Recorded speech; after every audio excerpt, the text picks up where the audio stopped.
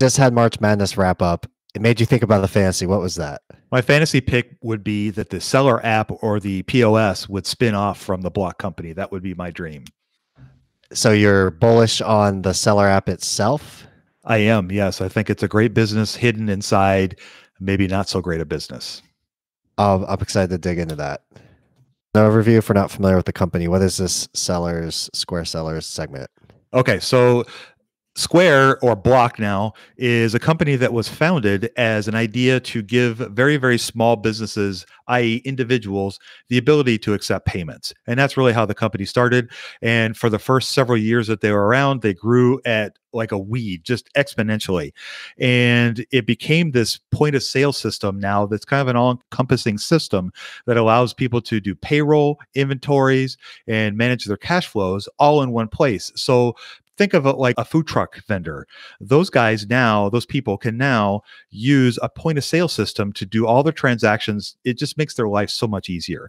And that's really what the Square company was started and founded as was this point of sale system and that has grown exponentially over the the last 10 years and it was really the leading driver of success for block then square up until recently i guess up until recently so if you could summarize maybe the last six months, 12 months, eh, was there any point in there where you've seen that it's changed or it hasn't looked like it has in the past?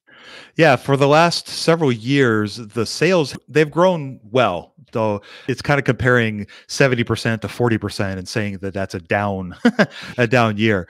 But there are a couple things that are going on. Number 1, their main competitor which is Clover, which is owned by a company called Fiserv, has come from behind when Clover was acquired by Fiserv, they were trailing Square in the small business point of sale system race, if you will. And they have now gone past Square and are accelerating into the future while the Square app is kind of floundering a little bit.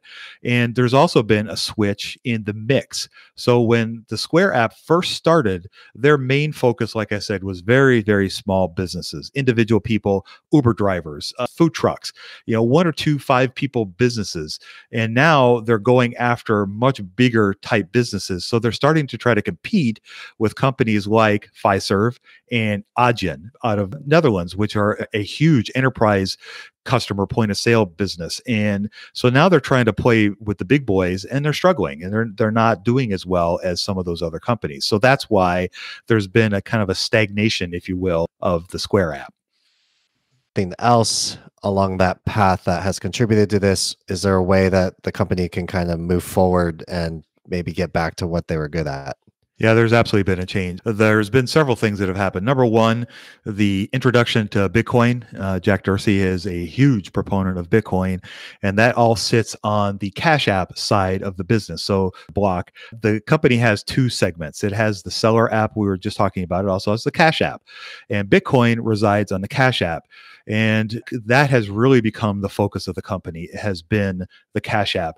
If you look at the last quarterly earnings call that they had, for example, they listed the Cash App was said 108 times in that call compared to 23 for the seller app and only 12 for Bitcoin. So it's quite obvious if you look over the last two or three earnings calls in particular, you'll see that the company is definitely moving more towards focusing on the Cash App. There's also been the largest acquisition the company made, which was Afterpay, which is a buy now, pay later company out of Australia. That was solely for the use of Cash App. And there's also been the Tidal acquisition, which was the music business that he bought from Jay Z, I believe it was. And that is again focusing on the Cash App. So all the innovation, all the conversation is all focused on the Cash App. And that is really detracting from continuing to focus on really what's been the breadwinner for the company all along and still has the ability to be a winner in that race where the Cash App is now going to be competing against Venmo, PayPal, and Stripe someday if it ever goes public. So these are all big, big competitors, and there's still a lot of game to play. And then there's the uncertainty of what's going on with Bitcoin. And the other part of that too is Jack is very much a maximalist with when it comes to Bitcoin, and he's not allowing other crypto be traded on the Cash App. And so th- all those things could lead towards a further, I guess, destruction of the brand.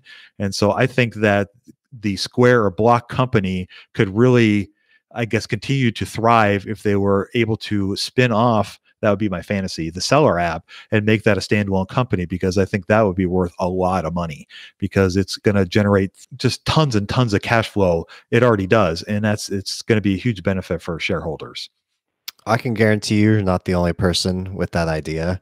I guess to answer the million dollar question, then, should people look at the investment today and look at the downsides of the lack of focus and buy a stock like Block today, or should they hold off? I would hold off. It's too scary with all the focus and the, the lack of focus on really what has been driving the business. And it's it's yet to be determined whether Cash App will pay off. They're trying to create an ecosystem where everybody can just go to the Cash app and do all their business. And it's a noble pursuit, but there's some big time competitors they're going to have to play against, i.e., Visa, MasterCard, and American Express to get to that level. And whether they can reach that level and be successful, it's hard to say. Or are they going to be become the next Discover? Which is kind of its own ecosystem as well. And it's not as a successful a business as American Express, Visa, or MasterCard. So the jury's still out. And for me, that's too risky.